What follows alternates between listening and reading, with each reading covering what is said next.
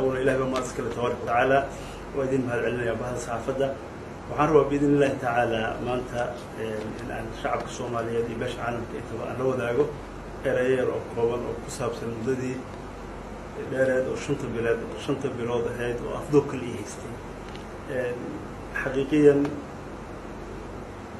waxaan rabaa awalan horta inaan u mahad celiyo dhammaan shacabka soomaaliyeed iyo mas'uuliyiintii soomaaliyeed oo ka xumaatay waxyaalihii la igula dhaqmay iyo sidii laigu sameeyey bishii sideedaad soddon iyo kooda sannadkii hore laga dhamaaday anigoo safar ah oo magaalada muqdisho garoonka aadan cadde safar transida ku ahaa qabashadii la ay qabtay dowladda federaalka ah shucuurtii ay ka muujiyeen shacabka soomaaliyeed gaar ahaan reer jubbaland dal iyo dibadba iyo mas'uuliyiin badan oo soomaaliyeed waliba rabo inaan si gaar ah ugu mahad celiyo madaxweynaha dowladda puntland walaalkii saciid cabdullaahi deni iyo xildhibaan fiqi oo runtii qadiyadiisa si gaara uga hadlay.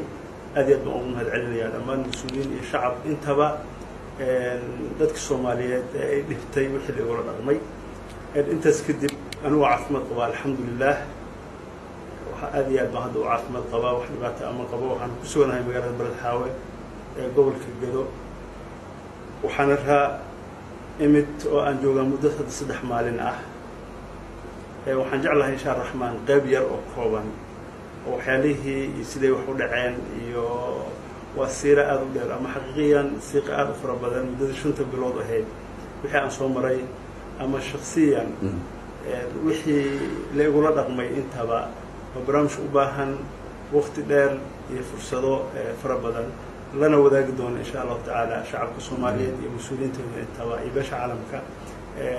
Falal aada u foolxun xaqiiqiyan aanan ku wanaagsanayn dowladnimada iyo soomaalinimada intaba oo la igula dhaqmay.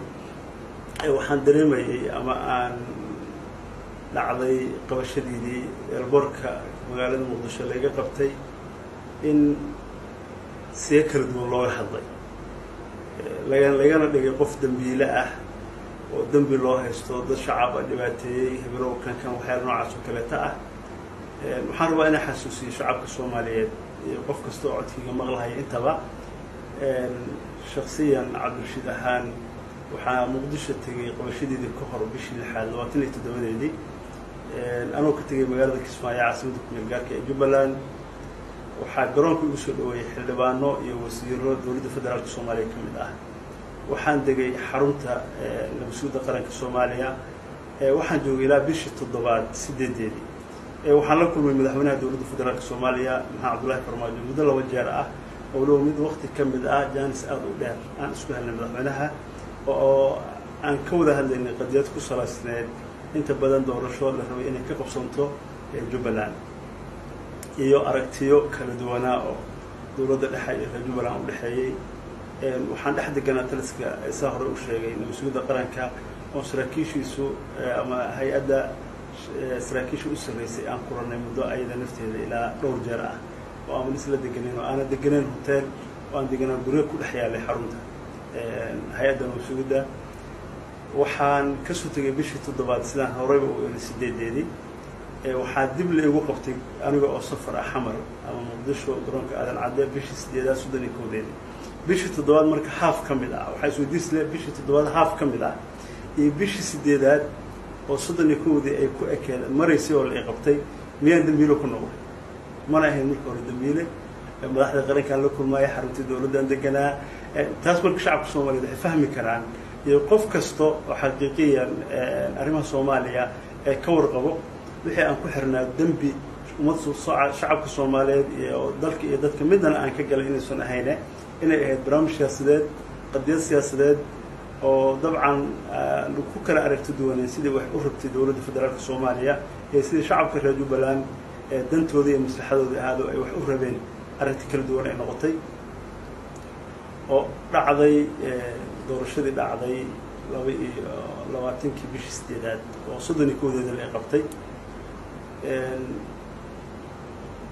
waxaa marka qof kastoo bini aadan u fahmi karaa ama soomaaliyeed ama rabaa inaan aq u xaqiijiyo shaksiyan nin dembiile ah oo ummadda soomaaliyeed iyo shacabka soomaaliyeed dembi ka kale ma ahayn maxaa sida waxaa barnaamijka kismaayo ka dhacay sida u dhacay kuma aana qanacsanayn buu ahaa wixii muddada shanta bilood ah. Lagu hayay. Hal i hayo dhib ma lahan siyaasad ragoo lagu qabtaa way dhacdaa dad kale aragti duwan in ay ku timaado barnaamijyadan oo kaleeto wax iska imaan karo laakiin waxaa haddana nasiib darre ahayd. Muddada shanta bilood ah inaana xarun dawladeed arag laguna xirin. Waxaa maqli jiray markii burburka dhacay inta badan dadka shacabka soomaaliyeed gobolladu magaalada muqdisho ay ku xirnaayeen oo ganacsigooda ay ku xirnaayeen. Waxaa maqli jiray ninkii hebel ahaa oo ganacsadaha ahaa bakaara dad soomaaliyeed hantitooda oo ku dhintay oo afduub baa guryo loogu haystaa. Dad shacaba ay leeyihiin baa maqli jiray xilligii baa dhici jirta taasaa dhici jirtay qaybo ka mid a waxaa markii soo baxday in ani markii la qabtay aan igeynin wax xarun dawladeed ah hal maalina guryo madaxda dawladdu aysan tegi karin xaqiiqiyan riski ah dad shacaboo soomaaliyeed ay dhisteen xaafado duur oo ku yaallo dawladdu aysan kontaroolin baa usbuucyaba guri la igeynayo oo laigu hayay. Ma garan karo waxaa la igu wareejinayay dabcan guryo xaafadda xamar ku yaallo oo inta badan weliba ka mid ahaa guryihii lagu hayay wax inta badan xaafadda hurwaa bay ahayd. Kolba maalinba guri in la igeeyo waxaa maxkamad la igeeyey si shacabka soomaaliyeed loogu qanciyo inaan dembi leeyahay bishii sagaalaad lixdeedii markaan soddon iyo lix casho xirnaa kadib bishii tobnaad lixdeedii soddon iyo lix casho markaan xirnaa kadib baa waxaa la igeeyey guri waxaa la igeeyey maxkamad ee gobolka banaadir. Waxaa cajiib ahayd eedo eedeyn waxaa jirtay labada kun iyo shan iyo tobankii barnaamij ku salaysnaa inta badan oo la ii soo jeediyey eedeyntaas horey la eega laigu soo jeediyey waxay maxkamadda gobolka banaadir iyo xeer ilaalinta qarankaba xireen bishii afraad soddonkeedii sida inta badan ummadda soomaaliyeed ay arkeen oo fayl dacwadeedkaas ay xireen ay xirtay maxkamadda gobolka banaadir iyo xeer ilaalinta intaba. Waxaa cajiib ahayd in isla guddoomiyihii gobolka maxkamadda gobolka banaadir oo bishii afraad warqadda qoray isla asagii anigoo la igu eedeynaya isla barnaamijka asaga ah la igeeyo oo guddoomiyihi naftiisa uu yaabo. Cidda ay ka timid in warqaddaas la qoro barnaamijkaas barnaamij siyaasadeed ahaan uu ahaa madaxda dalka u sarreyso. Oo xeer ilaalinta iyo maxkamadda intaba kala hadashay in wixii eedeyntaas laiga qoray shalay ay gardarre ahayd barnaamij siyaasadeed u ahaa dulmi u ahaa maxkamadduna ay kasha ay ay ay ay ay xirta gaal dacwadeedkaas. Wixii ka dambeeyey xilligaas markuu arrintaas dhacday kadib waxaan dalbaday in aan helo lawyer. Waxaa nasiib darre ahayd in la diiday lawyerkii aan lahaa in uu wax kulan ah ila yeesho. Ilaa markii dambe si cad loo yidhi ninkan kiiskiisa barnaamij aada xallin aada ka noqon kartid qareen ma ahan iskaga tag. Oo uu ku qanciyo ummaddii qabatay aniga inta badan xiriir waa lii diidaye oo ehelada ila ahayd dib uu ugu soo noqdo lawyerkii oo uu yidhaahdo barnaamijkan kiis siyaasadeed waayo ma ahan kiis maxkamad lagu xallin karo siyaasad baa lagu xallin karaa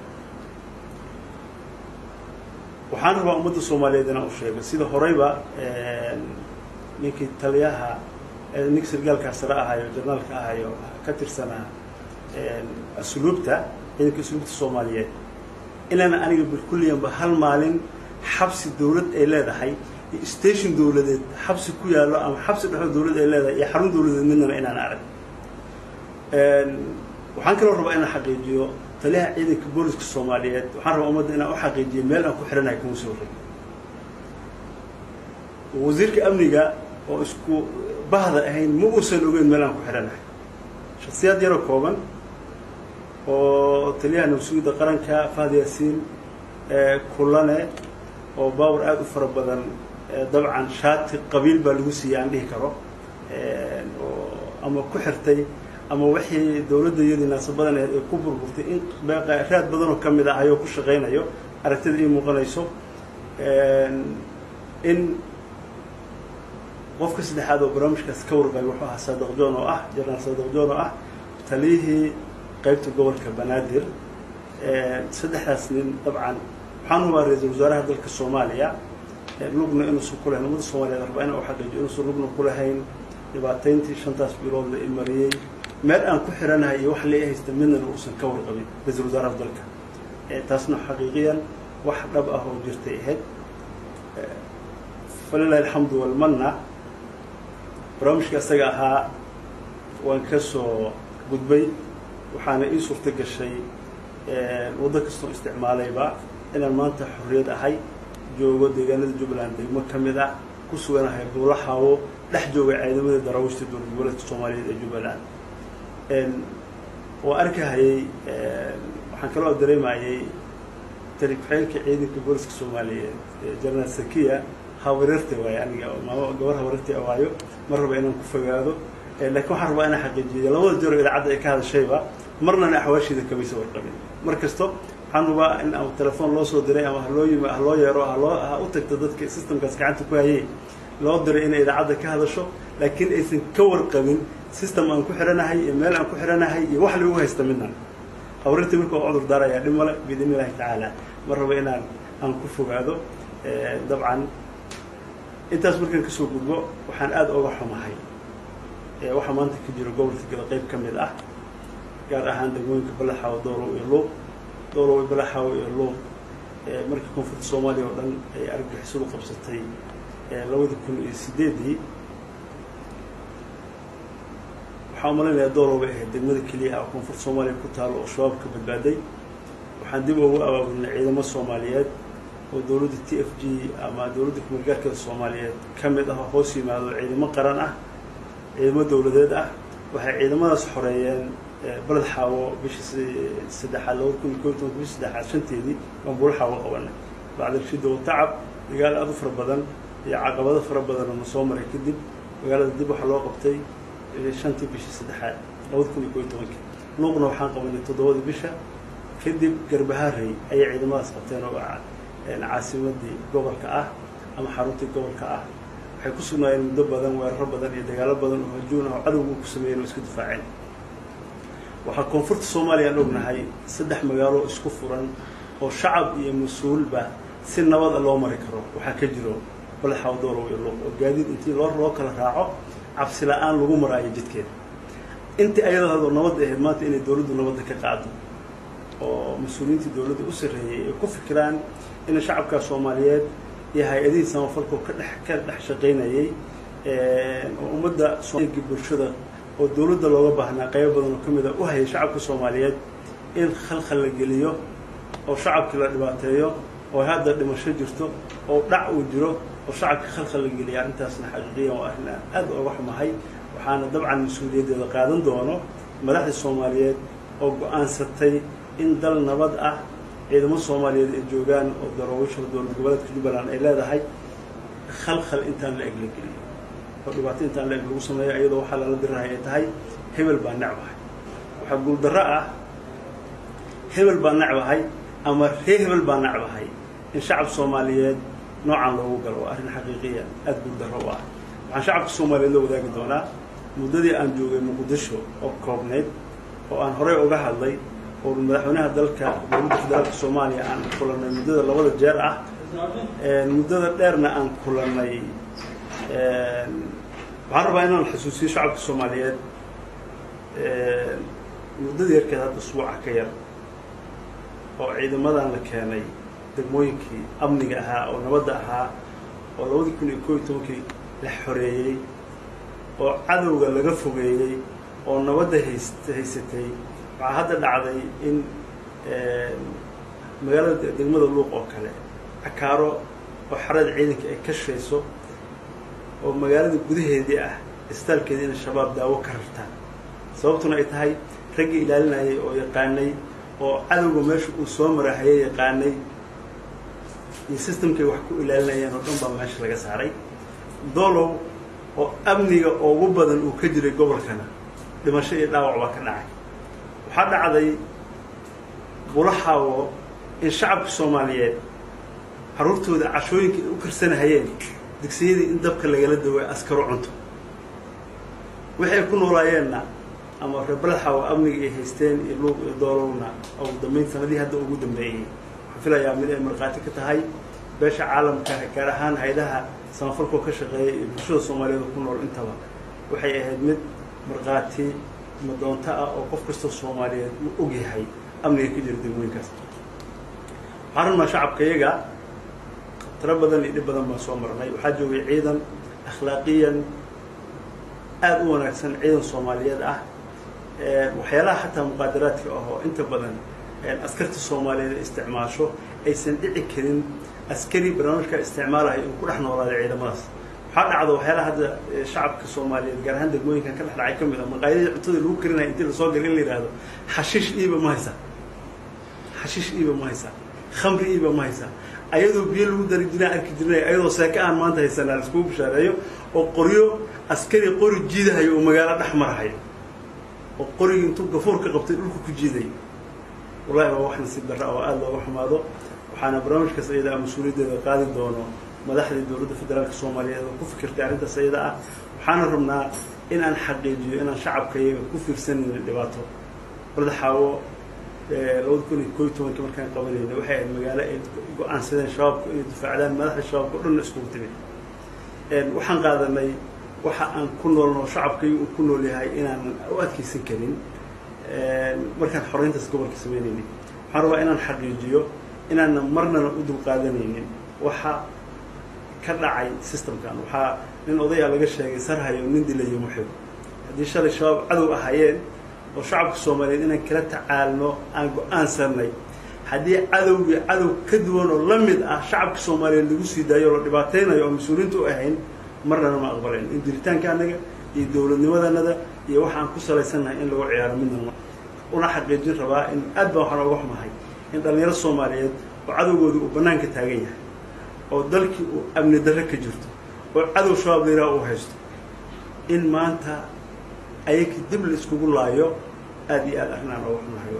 Waxaa kaloo nasiib darro ah magaalada muqdisho ani aan ku xirnaa shantii biloodoo aan afduubka lagu haystay maalin aysan dhibaato ka dhicin oo aan qof lagu dilin ama bisoolada lagu dilo ama bumbo meelaha lagu tuuro ama qaraxa ka dhaco oo sidii kii hadda excontrol ka dhaco kale shacab soomaaliyeed oo fara badan iyo bee dad ummadda soomaaliyeed dowlado kale oo naka nakalkaalaya intaba ha lagu laaye waxaa xaqiiqo ah in amniga magaalada muqdisho uu ziira ahaa ummadda soomaaliyeedna ay wada fahmayso ay og tahay.